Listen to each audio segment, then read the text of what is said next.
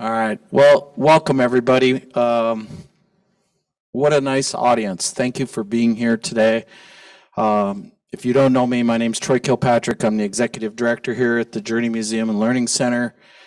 And uh, we've officially started recognizing 50 years since 1972, June 9th, 1972. And today, uh, one of our goals, a big goal, of our education committee is to create healing conversations uh, in our community. And we started that earlier today. We had Gerald Yellowhawk here providing a blessing, and we had community stories here in the theater. And um, I'd like to, uh, I know Dr. Hausmann can't be here, but I think he could hear you guys if you all give him a big round of applause. Um, kind of a long story. Um, today was supposed to be the day I got to meet Steve in person. Okay. We were introduced on Zoom by Dr. Eric Zimmer about two and a half years ago.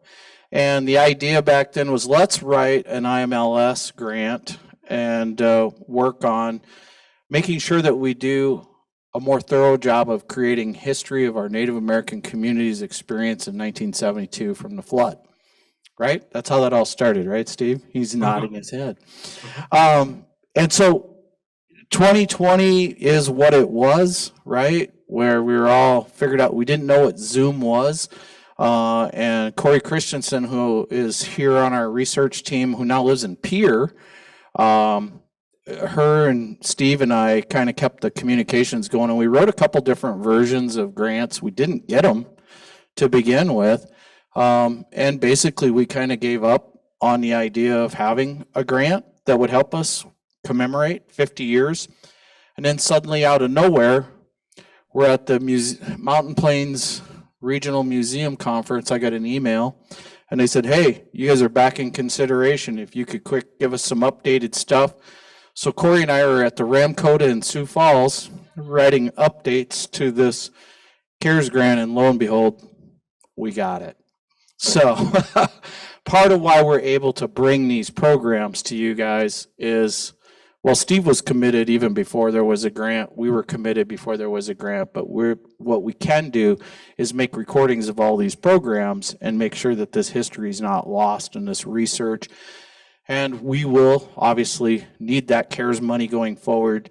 Um, quick note on the journey: we were open 133 days in 2020. 159 in 2021. It's not normal for us. It'll never be normal yet um, as we find our way back.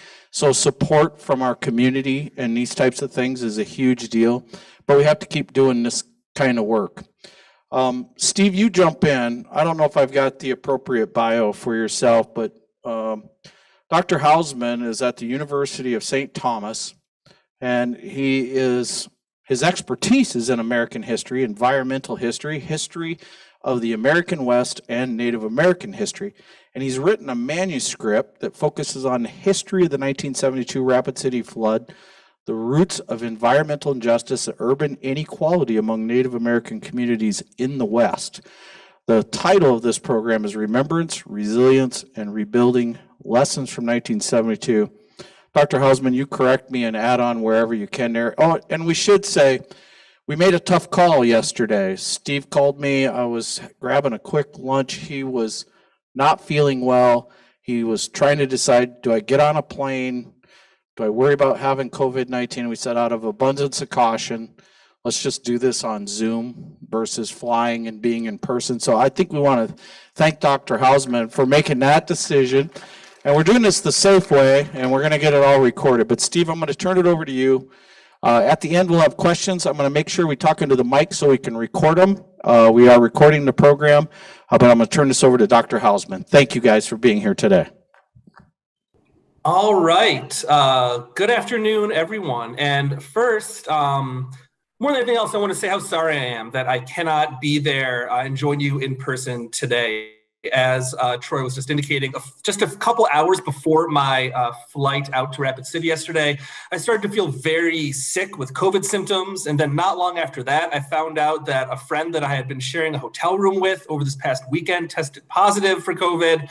And uh, you, I don't know if you can hear my voice, but I'm pretty sick right now, and I'm waiting the results of my latest COVID test as we speak. And as Troy said, out of an abundance of caution, and also at the urging of my wife, who is a doctor and has been dealing with COVID all through this pandemic, I opted not to fly out for this week's events, but it wasn't an easy decision to make. Um, sorry in advance during this presentation for probably pausing quite a bit to drink water, for my voice being so hoarse, and probably for coughing a great deal. Um, Nonetheless, all of that aside, I'm truly honored to be uh, here uh, sharing this and, and, and being with all of you today. I appreciate all of you joining me. And I want to especially thank Troy and the staff at the Journey Museum and the City of Rapid City for inviting me to participate in uh, the week's events uh, as we remember and reflect on the sorrow that struck Rapid City 50 years ago this week. Um, the 1972 flood was, of course, a tragedy. But as a historian, I firmly believe, kind of at the root of my beliefs as a historian, is that every tragedy also presents an opportunity for those in the present to learn from and to build from. I think that this is the power and the usefulness of history itself, that even from the darkest moments of the human past uh, are offered paths into a better future if we are willing to look for them. Um, that idea of finding meaning in the history of a tragedy is what I'm going to be focusing on today, sort of the, the through line through today's uh, uh, talk that I'm going to be uh, uh, uh, sharing with all of you as I talk about the history of the flood and how it was intertwined with the native history of Rapid City. So I'm going to speak for probably about a half hour or so, which will leave us about a half hour or so for questions and comments. Most everyone here, I'm sure, knows the history of the 1972 flood, but it's worth repeating the basics nonetheless. Excuse me. On the evening of June 9, 1972, a massive storm parked itself over the eastern and the northern portions of the Black Hills, causing torrential rain, which swelled all of the dozens of creeks and streams throughout the region, including Rapid Creek. And as the rain fell with increasing intensity on that night of June 9th, the spillways of Canyon Lake Dam clogged, causing pressure to build and that dam to fail. Millions of gallons of water rushed down Rapid Creek and through downtown Rapid City. And it was this dam's collapse which turned the flood from uh, a disaster to a cataclysm, and which caused the brunt of the flood's property damage and the loss of life. At least 238 killed, over 1,500 homes destroyed and damaged, and at least $100 million in damage all told. And everyone in Rapid City suffered that night. Nobody in Rapid City emerged from the night of June 9th unaffected, whether they lost a family member, a home, a business, a friend, or a neighbor. But the flood did not mete out its devastation equally. Exact numbers are difficult to come by, but one government source estimated that perhaps 33 of the 238 confirmed deaths were Native Americans in Rapid City, which would be approximately 13% of the death toll. The true figure is impossible to know. I personally believe that it's likely a little bit higher. Many Native people from nearby reservations lived in Rapid City seasonally, making the demographic size of the Native community in Rapid in the 1960s and 1970s difficult to pin down. Many also lived in more transient dwellings along the creek itself, making them difficult to count in data. Displacement figures from the flood are equally hard to estimate estimate. One report from about a year after the flood estimated that 18 to 20% of those displaced were minority families, which is three times the percentage of non white people who lived in Rapid City, according to the 1970 census. And the number of Native people killed by the flood, I think, can be fairly estimated to be at the low end 33 to 35, and at the high end, as many as 40, which on the low end is 13 to 15%, and on the high end is nearly 20% of the total flood victims. And regardless of which end of that spectrum you choose, it's significantly higher than the, the, the, the ratio of the native population in Rapid City in 1970, which according to that year's census was 2,112 people out of a city population of just under 44,000, a little under 5% of the city's overall population. That kind of inequality is a textbook, excuse me, a textbook example of environmental injustice and is the kind of thing that demands historical explanation. In explaining that today, uh, we need to talk a bit about the history of Rapid City as a native place. So let's start back at the beginning. the place where we're all sitting was native space well before it became Rapid City, or in my case, where I'm sitting right now, well before it became Chicago. Um, and it remains so, of course, today. Prior to American arrival and the illegal dispossession of the Black Hills at the end of the 19th century, the Lakota, the Cheyenne, the Arapaho, the Kiowa all called the Black Hills home, living along the banks of Rapid Creek, among many other people who have done so since time immemorial. Yet, even after the US government claimed and seized the Black Hills in the 1870s and 1880s, Native people maintained Rapid City as part of their geography. From the 1880s onwards, annual Stockman's Days festivities in Rapid City always involved Native people. Photographs like this one here of Stockman's Days festivals held in Rapid in the late 19th and the early 20th centuries show Lakotas and other Native people of all ages standing on sidewalks, seeing the sights, attending events alongside white onlookers. Others took part in the events themselves, uh, competed in rodeos or in horse races, or participated in parades like the one seen here. I believe this picture is from the late 1880s or early 1890s. Um, Lakotas from Pine Ridge and other nearby reservations also continued to visit sacred sites throughout the Black Hills during the same era, including hot springs and wind cave. So despite dispossession of these homelands, Native people maintained an active presence throughout Rapid City and the Black Hills. They did not disappear despite the best efforts by the US government to make that a reality. That was never actually the case. For much of the late 19th and early 20th century, the Rapid City Indian School served as an additional hub in Rapid City's urban native geography. Founded in 1898, the Rapid City School ensured that Native students would always be present in Rapid City as students, to be sure, but also as runaways, as people who were fleeing from the Rapid City Indian School, which was a common occurrence at this and similar institutions around the United States. Students who ran away from the Rapid City Indian School regularly were able to make use of the Native community in and around Rapid City as a means of avoiding school officials. Levi Black Bear was one such student. After running away in 1916, school administrators, quote, made inquiry at the camps in Rapid City, but were unable to find him for days before eventually catching the boy. And I'm quoting here from the records of the Rapid City Indian School uh, housed at the National Archives in Kansas City. The following year, a young girl named Margaret Tutu also ran away, and she hid for a time, again, quoting those records, in camp about three miles north of Rapid City before officials were able to catch her and return her to the school. A young boy named Albert Yankton similarly, quote, lived in and around the camps for a week before leaving for home after originally arriving in town and deciding not to enroll, as was his original intention. For young Albert Yankton and other students escaping from the Rapid City Indian School, the Native community residing in and around Rapid City served as an alternative to the kind of assimilationist education that was the reason for these schools' existence. Try as they might, school officials couldn't control students who were often homesick and desperate to see friends and family. The ability for students running away from the Rapid City Indian School to find refuge in and around Rapid is a testament to the presence, to the size, and to the tightly knit nature of the Native community in the city during the early 20th century. Yet, Whites in Rapid City created an often unwelcome atmosphere for Rapid City's Native community during the first few decades of the 20th century. Cecilia Hernandez Montgomery, who was an Oglala Lakota woman born in 1910 on Pine Ridge, lived throughout her life in several towns in the Northern Plains and in the Black Hills region during the first half of the 20th century, including in Rapid City. She would later write, and I'm quoting her here, that they had signs in businesses saying no Indians allowed. And one time she reported, I went looking for a house, and when I showed up, they found out I was an Indian. And they said, sorry, it's been rented out. The journalist Tim Giago lived in Rapid City and remember, had similar memories, recalling that once he applied for a job at a local bakery. I'm quoting him here. Uh, uh, uh, when he was a teenager. And the owner looked at the application and then looked at me. And finally, he said, I don't hire anyone from the Pine Ridge Indian Reservation. And he dismissed me with that comment by doing things like disallowing the use of public facilities, by denying them the right to rent or own property, by enforcing employment discrimination, White Rapid Cities did their best to deny Native people the upward economic mobility that in a lot of ways defined mid 20th century America and forced Native people to live in segregated sections around Rapid City throughout the first half of the 20th century.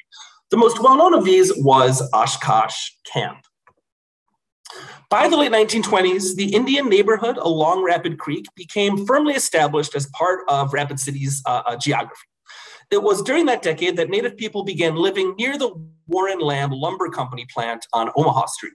Warren Lamb went, rented out land to its workers near Oshkosh Street, including its many Native workers. And soon, this neighborhood bore the name Oshkosh Camp after the street itself. Cecilia Montgomery, who lived at that camp for a time, remembered it in a couple different ways. She said, quote, outdoor toilets were the rule, and there was only one place where a person could get water. And Oshkosh Camp soon became one of the major native neighborhoods in, in Rapid City during the, the middle decades of the 20th century. By the 1930s, Oshkosh Camp was a neighborhood said to be of tar paper shacks and clapboard cabins, reported one person who lived there, located right along Rapid Creek. Yet, despite its impoverished living conditions, Oshkosh was nonetheless a community. Tim Giago remembered, quote, one could travel the length of Rapid Creek to find Indians, Mexicans, and the poor white families of Rapid City. And among the people that lived there was paid Pedro Pete Pascual Torres, who came to Rapid City from Mexico in 1930 and stayed along Rapid Creek in Oshkosh Camp. And he remembered, quoting him here, that the Indian people were the first and the only ones to open their homes to us and to feed us. So to some in Rapid City, Oshkosh was simply a slum. But to those who lived there, it was also a community. Throughout the mid 20th century, however, whites in Rapid City increasingly saw Oshkosh as a dangerous zone of violence and of ill health. With this native neighborhood located close to downtown Rapid, white Rapid Cityans saw this place largely as a nuisance and even as a dangerous place. Beginning in the 1930s, the Rapid City Journal regularly reported in its pages on violence and crime in Oshkosh. One typical story reported, quote, a shooting at the Indian camp at the southern outskirts of Rapid City City, which is under investigation from 1936. When two Native people left the Sioux Sanatorium, formerly the Rapid City Indian School, which closed in 1933 and became a hospital, uh, engaged in a fistfight in Oshkosh. A local judge deemed, quoting this judge, that the problem of patients from the Sioux Sanatorium mingling with citizens is a definite menace to the community. You'll note that this judge is kind of separating out, right, Native people in Rapid City from citizens that they are mingling with. A 1947 Rapid City Journal article decried a rubbish fire burning at the Indian camp on Omaha Street. And later that year in 1947, City Commissioner I.H. Chase vowed to improve sanitation in the area near Oshkosh Street, in which scores of Indians dwell he said.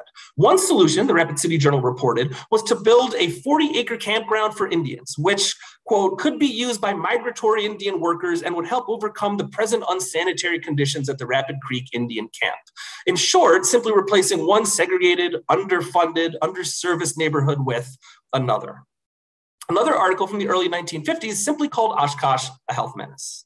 Oshkosh was a creation of segregation and unequal hiring and housing practices in Rapid City. And for white Rapid Cityans, it was also an undesirable blotch on the city's image and needed removing. And it was around this time in the 1950s that Rapid City officials made a concerted effort to do just that. And they at least partially succeeded. In the mid 1950s, the city bulldozed the neighborhood, destroying homes and in the process displaced many Native people from Oshkosh. Many of them moved north to a federally funded housing project located just beyond the Rapid City city limits called the Sioux Addition. Yet housing in the Sioux Addition was both poor quality and in high demand, meaning many Native people could not get housing at the Sioux Addition itself. As a result, some moved into trailer homes scattered throughout the city, including some in Rapid Creek's floodplain. And I believe, based on my research, that many continued to live along Rapid Creek. After the mid 1950s, the existence of the historical place called Oshkosh Camp within official city records becomes pretty cloudy.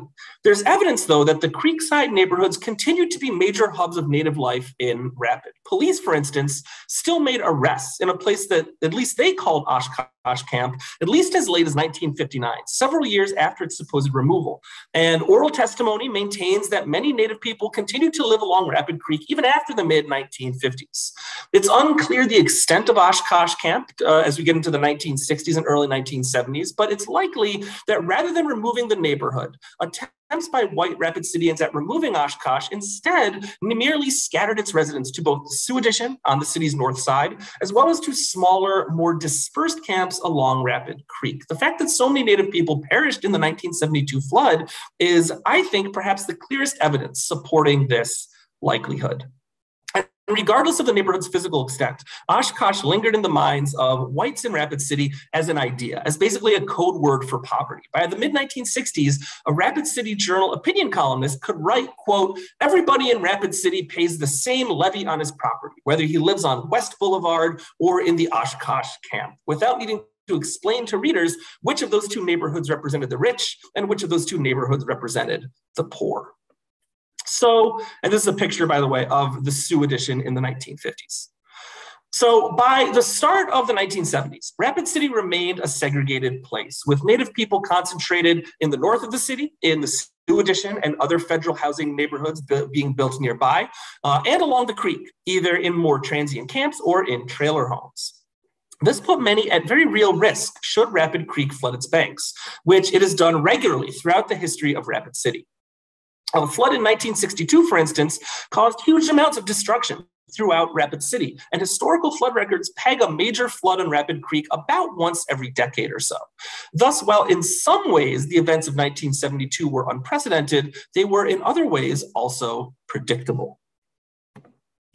The night of the flood was marked by terror, by tragedy, and by bravery. And among those who saw the disaster firsthand was this man, Paul Wounded Head, who was born on the Pine Ridge Reservation in the mid 1950s, but lived most of his life in Rapid City. As a picture of him giving an uh, uh, uh oral history of his memories of the flood around the 40th anniversary 10 years ago.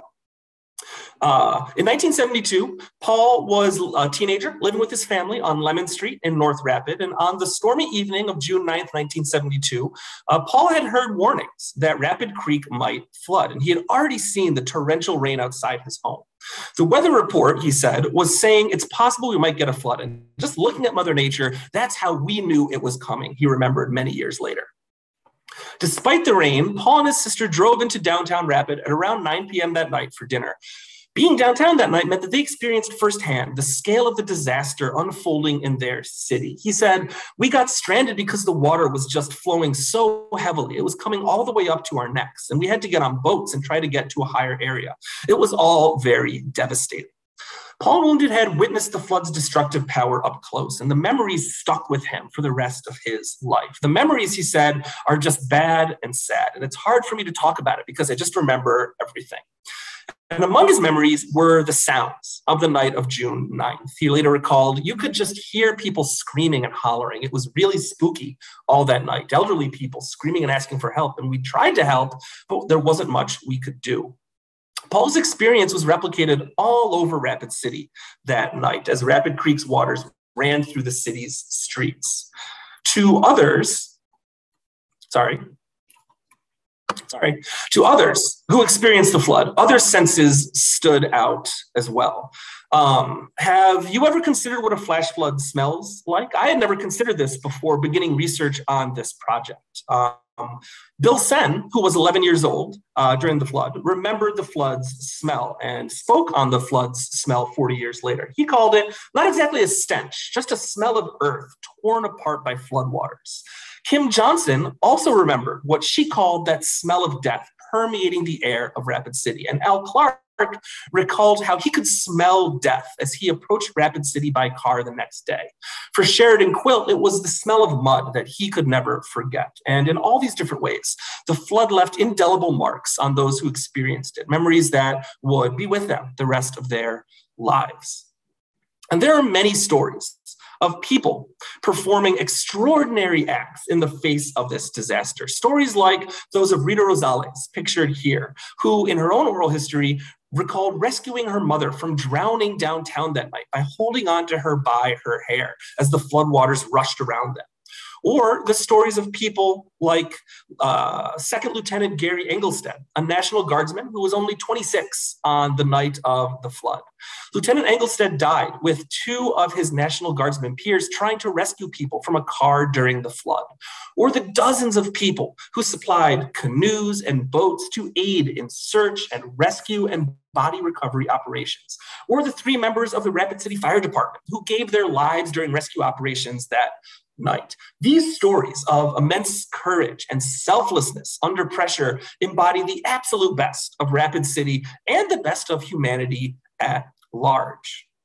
But disasters are fundamentally human events. And thus, while they can and always do bring out the best in individuals, they can also reflect the inequalities in a society. The aftermath of the flood was marked by the same segregation and racism that often defined white native relations in Rapid City in the years prior to the disaster. James Emery, pictured here, who was a longtime activist and leader in Rapid City's Indian community and was a member of the mayor's Indian Welfare Coordination Committee, remembered a few such incidents. In an oral history that he recorded not very long after the flood itself, Emery described a native couple who had come down to Rapid from the Rosebud Reservation, arriving late at night after the flood with a curfew in place in parts of the city. Uh, this put them, unbeknownst to them, at risk. In Emery's words, quote, they got here at night and they didn't know there was a curfew. And they happened to get down into the curfew area because that is the only place they knew in Rapid City, the curfew area where Indian homes had been wiped out. And this couple was soon arrested and put in jail for two days for breaking curfew and their car towed away. Emery ended up spending an entire afternoon tracking down and recovering their car for them. And this couple, who had come down to help and aid in recovery efforts, ended up fleeing Rapid City. Emery also reported on native flood victims accused by whites in Rapid City of fraudulently claiming donated food and other relief, claiming that they had only come from nearby reservations for the free food and clothing. Beyond these kind of individual examples of post-flood inequality, there were structural problems in the relief effort as well. The federal government's Housing and Urban Development, or HUD agency, stepped in to supply temporary homes for those individuals and families whose residences had been destroyed. Most flood refugees lived in HUD trailers located around Rapid City, and the government permitted them to stay in these temporary homes until they were able to find permanent housing. Almost a year after the flood, however, many Rapid Cityans were still unable to find permanent affordable housing. As Hazel Bonner, pictured here, a representative for the United Renters Council, a local renters advocacy group, reported to a congressional hearing on the disaster and its aftermath in 1973. Uh, Bonner said, quote, the people still remaining in HUD trailers are by and large lower income people, unable to find affordable housing in Rapid City, and many of them were native. Soon after the flood, a group of citizens formed the Rapid City Indian Flood Victims Association, or the RCI FVA. This ad hoc group sought to to ensure that uh, relief money went to Native victims and also help ensure that local and national relief efforts met the needs of the city's Native population. RCI FVA representatives also testified at those same congressional hearings in 1973. Among them was Edgar Lonehill. Lonehill said, quote, in general, it has been our observation that there has in fact been some discrimination against Indian flood victims in the wake of the flood. Native flood refugees, which Lonehill estimated at around 250 to 300 Indians, were again, and I'm using his words here, primarily segregated into two camps around the city.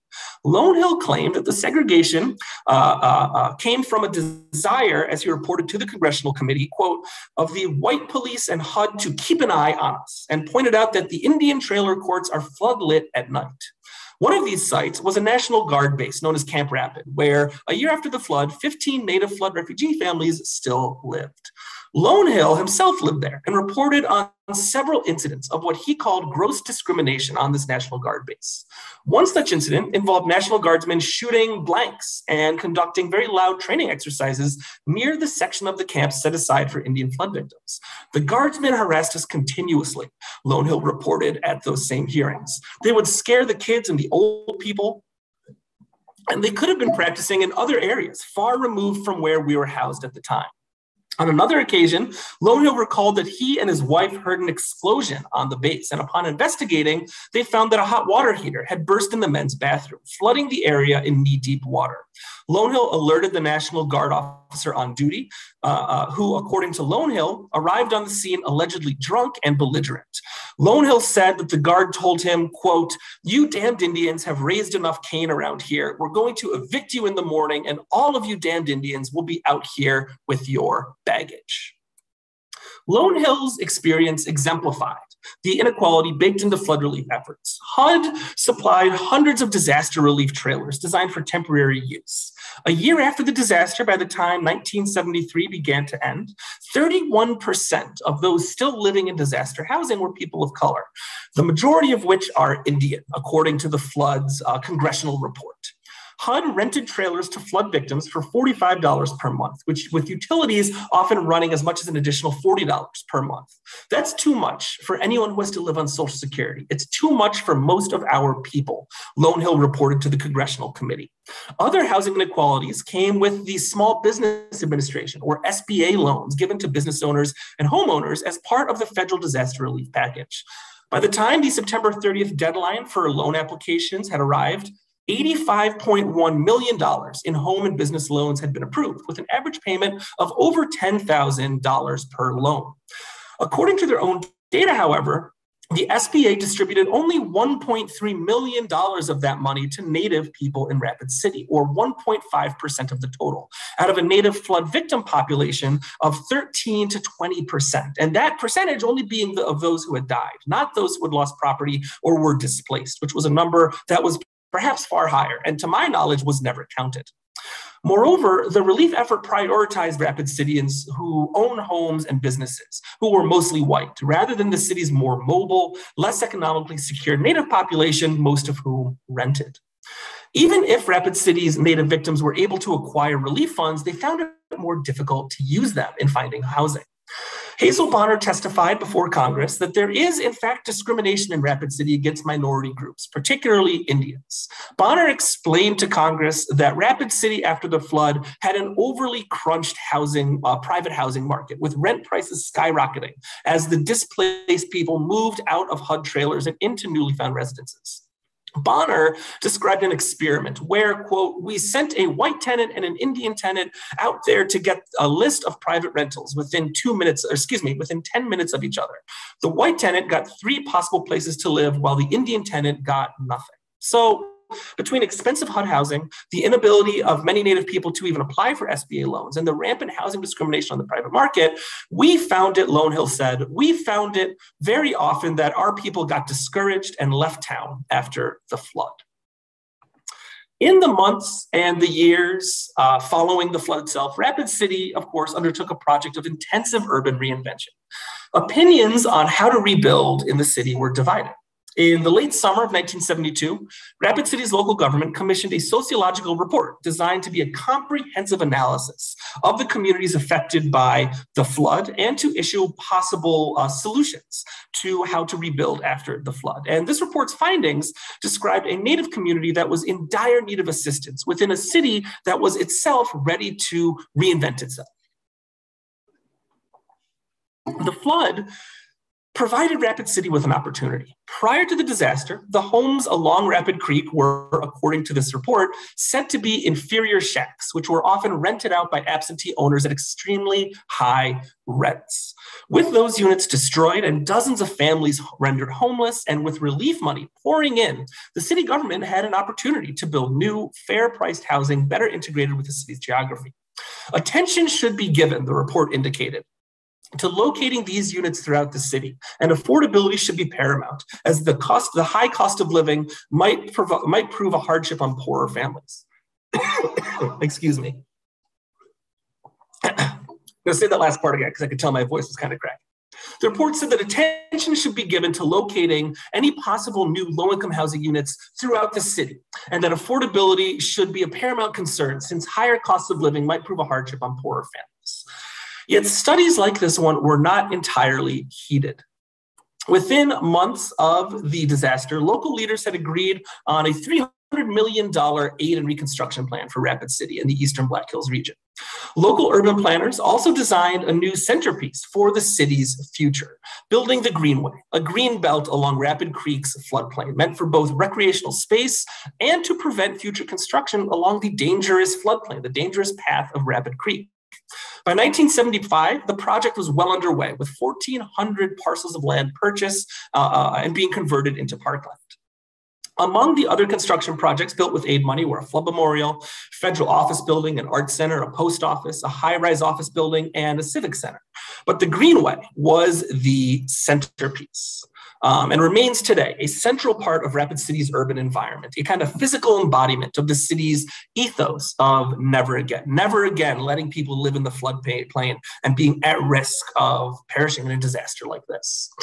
Some of those parcels of land that were turned into parkland had once been Oshkosh Camp, and the flood had destroyed all of the transient housing along the creek, which had been a goal sought by many white Rapid Cityans for decades. The Rapid City Journal put it bluntly that the flood of 1972 completed the removal of the low income neighborhood along the creek, it wrote in a flood retrospective.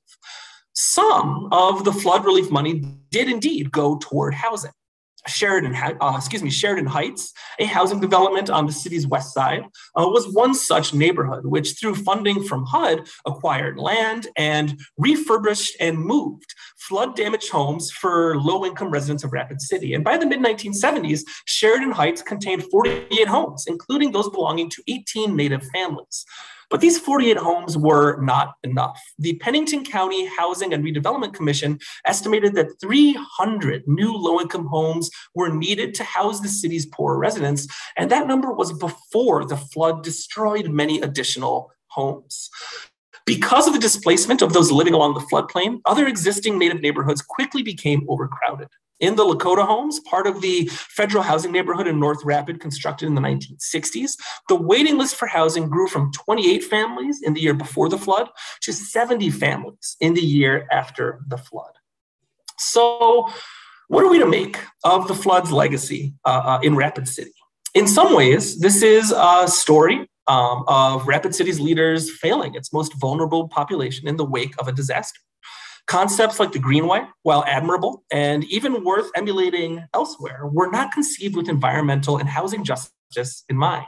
With so much money going towards civic improvements, not enough housing was built to solve the housing crisis which plagued Rapid City prior to the flood, which was embellished by the flood itself, and which is still a crisis in Rapid City today, a city with a homelessness rate triple the national average. Yet, of course, that's not the only legacy. Post flood story is also a story, I would say, of visionary redevelopment. While imperfect in its execution, creating park space along Rapid Creek to protect against floods and to ensure people never again would live in danger should Rapid Creek rise, I think was, frankly, a good idea. Moreover, the heroism and the generosity shown by so many in Rapid City during the flood and the days that followed cannot and should not be ignored. People are capable of extraordinary things when their neighbors are in danger. And the 1972 flood revealed a true sense of community in Rapid City. The flood also fostered a spirit of activism in Rapid City and in the Black Hills in general. The American Indian movement cited the flood and its inequalities woven throughout it, uh, uh, throughout the recovery, as one of the reasons why they chose Rapid City and the Black Hills as a crucial hub of protest throughout the 1970s, culminating in their teaming with white ranchers and environmental activists as the Black Hills Alliance in the late 1970s and early 1980s, who were able to successfully stop uranium mining in the Black Hills. That uh, uh, indigenous led legacy of activism continues in Rapid City to this day, with groups like the NDN Collective fighting for Native rights, sovereignty, and land. So, to close, I hope my presentation's message is clear. And that, that message is that history is complicated that even tragedies like the 1972 Rapid City flood are complicated, and that it's possible to embrace that complication, to recognize the good alongside the mistakes, to recognize the resilience and celebrate the resilience while also looking head on at the errors. The flood revealed some of the best and also some of the worst of Rapid City, and that both can lie next to each other alongside one another is at the very heart of history's power. Only by being truthful about what happened in 1972 and the years that followed, can we create a better future for all people who live along Rapid Creek today? Thank you very much, um, and I look forward to hearing your comments and your questions.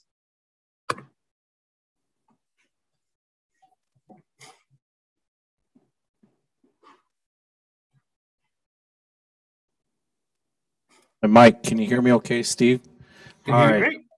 All right, so if you guys have a question, we want you to talk into the mic so that Dr. Hausmann can hear you.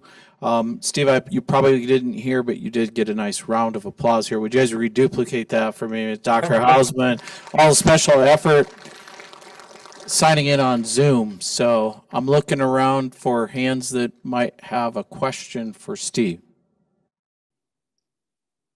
or a comment as well. I mean, I'll say that my research on this is ongoing, and I think that part of a historian, part of being a historian, is being humble. Um, I don't think that I have all the answers. I've done research on this. I feel like I, I, I know some about the flood, but I'm always interested in other people's perspectives as well. So even if you have more of a comment than a question, please do feel free to share. I'd love to hear your perspectives on the story that I, I told here.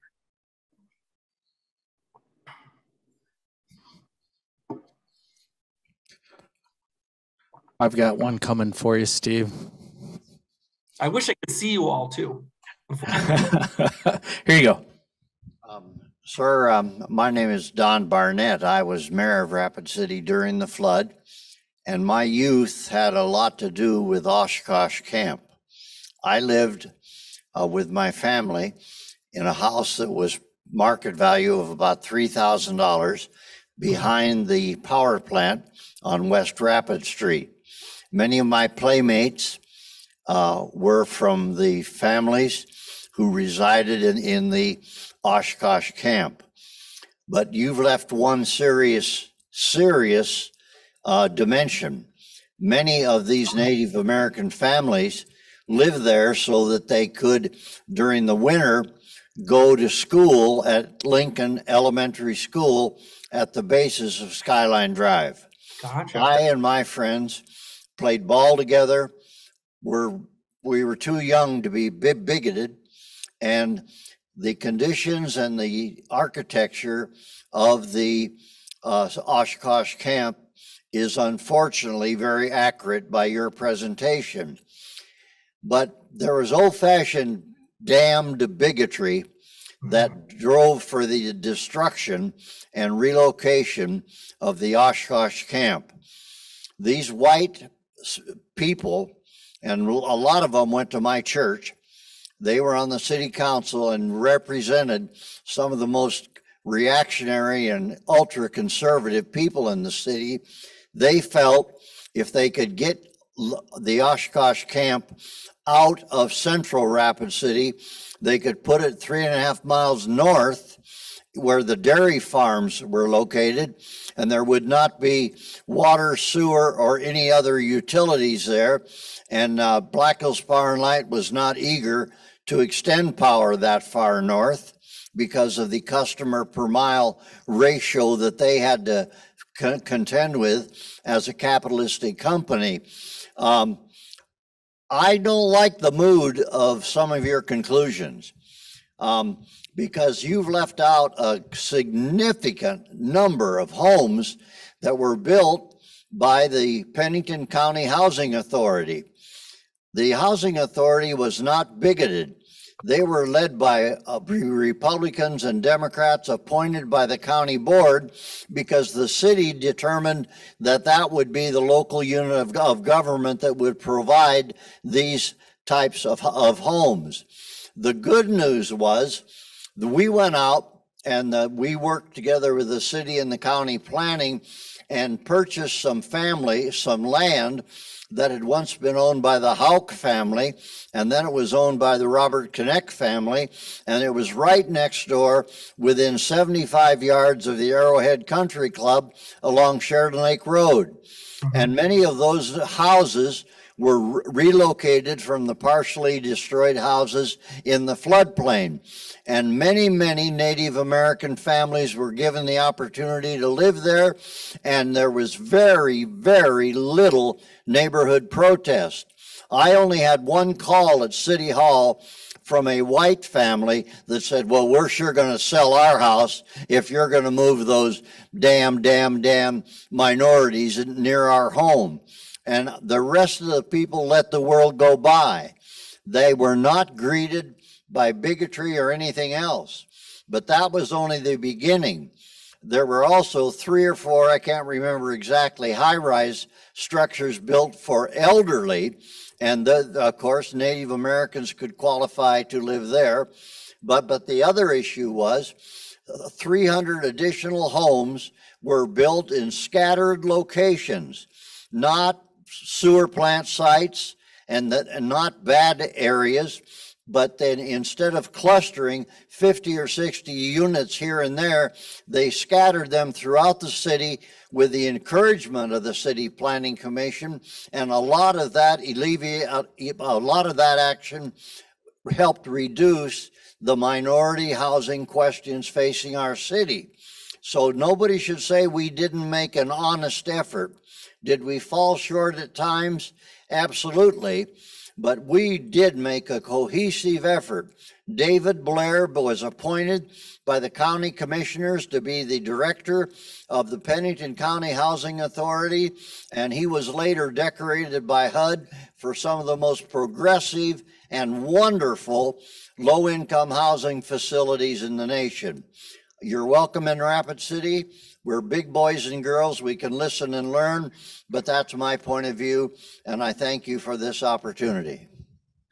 Thank you, Mr. Barnett. And uh, I, I got to say, um, not being able to meet you this week is uh, one of my biggest regrets for having come down uh, uh sick just before coming out there. And I'm, I'm so grateful that you you uh, uh, were willing to stand up and give give your perspective. Um, I don't know if you can tell, but I was I was kind of taking notes a, a lot of what you were saying as as you were talking. So I, really do appreciate you you you talking uh, uh, uh, uh, about um, what you experienced as one of the the major city leaders during this event. And I think in particular the fact that you you know remembered playing with children from the Oshkosh camp speaks to the fact that this wasn't just a slum, right? That this was in fact a community, that people lived there and made lives there. And they, as you kind of indicated, sometimes chose to live there in order to, uh, uh, uh, to, to access better education. Um, as for the question of housing, um, the story that I told was based on the evidence that I I've seen. I would love to at some point get a chance to speak with you either in person or over the phone to get more information about this other housing that you said was built after the flood. And I wrote down some of what you said so I can do more research on my own. Um, I had not found that in my own research, but history is an ongoing process, right? Just because I haven't found it doesn't mean that it didn't happen. And to have you say it tells me that maybe I'm looking in the wrong places. So again, I really appreciate you sharing your, your, your wisdom and your experience there. So thank you very much. Thank you. Uh, Steve, thank you. And Don, thank you. Uh, guys, this is why we're recording this stuff too. I mean, there are stories, there are all kinds of stories about this event and these perspectives. And so I, I, I think that um, we haven't had enough dialogue about these conversations. And that's really the driving force behind why did we why did we say let's let's let's get Dr. Hausmann, let's talk about these conversations. We haven't spent enough time in dialogue. I've got a uh-huh. hand up in the back here for you, Steve. Thank you for a wonderful presentation. I have two, one comment and one question. Uh, the comment is in your presentation, you talked about Sheridan Camp. And I'm wondering if that isn't the housing development that is out on Sheridan Lake Road next to Arrowhead country club. Sheridan Heights, yes, yeah, that, that was one of the housing developments that that was built in the wake of of the flood. Yes. Okay. Um, my question is, how did you get interested in this flood, this research? I mean, what is your background that you highlighted this area in this research? Thank you. Yeah, I'm so glad you asked that question. And I'll be upfront that I'm uh, I'm an outsider to Rapid City. That's one of the reasons why I try to go into this research being humble and trying to, as much as I just talked for like 40 minutes straight, I try to listen more than speak with too much authority on this because I'm not from Rapid City or even South Dakota. I grew up in New York State and lived all around the East Coast and Colorado for a long time. Um, and how I got into it was I've always been interested in questions of environmental justice and environmental injustice. And um, as I was doing my PhD and looking for a topic to write about, um, I came across, I was interested in the story of Mount Rushmore um, originally, and I was interested in uh, Lakota ideas about sacred space pertaining to uh, the Black Hills. And while doing research on the Black Hills, I came across a couple mentions of this flood. And this was a, a huge disaster. 238 people at least dying. And I couldn't believe that I had never heard of something that happened only, what, 15 years before I was born. And the more I read about it, the more I found out about, uh, about the history of this tragedy, the more I found out about how it was intertwined with uh, inequalities uh, uh in, in Rapid City and with uh, uh, urban native history, the more fascinated I became with it. Um, so uh, I wish I had less of a kind of proasic answer to it, but but that's kind of how I came to it. Was just I, I, stumbled across it and I couldn't get it out of my mind. And I'm so thankful that that's that's been the case because I found it to be an immense. All the conversations I've had with people in Rapid City about the history of the flood have really uh, uh, emphasized to me that this is a worthwhile story that more people should know about. I tell people about my research a lot, and often people outside of South Dakota, not even in the, in the West, outside of just South Dakota, will say, "Geez, I was alive for that. I don't even remember that happening," which tells me that this is a story that needs telling. And I hope I'm not the only voice telling this particular story, but I'm grateful that I can be one of the voices telling this story. I'm gonna look around the room. Hi, this is Eric Abrahamson. Uh, Steve, thanks so much for your presentation, and Don, thanks for your comment. I just wanted Oh, hi, to, I just wanted to back up on that part. Part of what you were saying, Don. To, you know, I think you mentioned this, Steve, but Rapid Cityans had rejected the idea of public housing for decades before you were mayor, Don, and, and I think that's an important context to bring. I think, in a sense, underscoring your comments, it is tr- is really remarkable what you and your colleagues were able to achieve with public housing, given the historical background. You know, you mentioned, Steve, the um, the project that Darcy McNichol had championed back, I think it was 1949, 50, of building a sort of um, way station kind of place where natives coming from the reservation could settle into Rapid City and find employment and all of that. And Mayor Ike Chase just rejected and said, we can't find a place in town where anyone would have that in their, next door to their neighborhood. So I think it's really important to remember that the flood was in many ways a, a break point, a change point.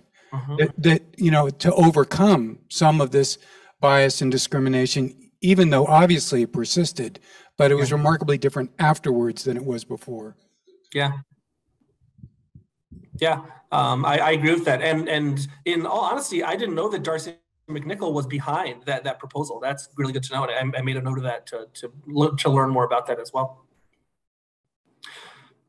And yeah, I, I, think, and and I hope that that this came across my presentation. Perhaps it didn't. I think that what Rapid City was able to accomplish was pretty remarkable in the wake of the flood. And I think that, and I, I think you you said it yourself, Mr. Barnett, that you know that you all tried very hard to get more public housing built, and even if it wasn't enough, what you did do was remarkable. And I hope that both those statements, that the, the not enough aspect with what you were able to do, view that as a success. I hope that those can exist side by side with each other. That's my goal. That's my thinking on it. I'm looking to see if there's anybody else who has a question.